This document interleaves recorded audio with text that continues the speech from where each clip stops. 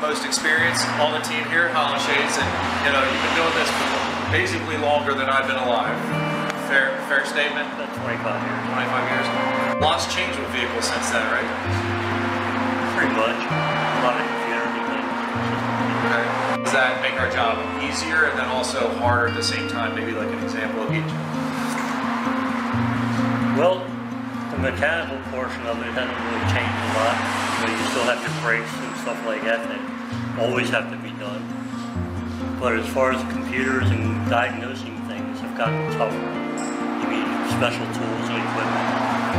And then you need a little bit more technology in your own head to figure out what's really going on with it. That kind of brings us to, I think, something that I feel strongly about here, you know, specifically at our facility that, you know, we have the right tools. I mean, we have the, we have the, you know, the factory This, information. this particular shop has shops I've ever worked in. And they're not afraid to buy the tools that are needed to make the repairs.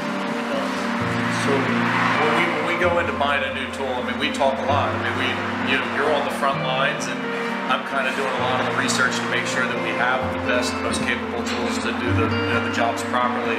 And, uh, you know, a lot of it, I think we always agree that, you know, if it, it allows us to do the job either more efficiently or, or more accurately, it's something that we really don't hesitate to, to purchase.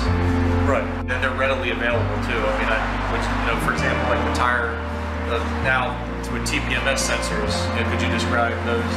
TPMS even work or they don't. They tell you, they, you know, they tell the driver whether the car is losing air in a particular tire. It goes low, or if the battery goes up and the temp, uh, TPMS sensors goes bad, then they need to be replaced.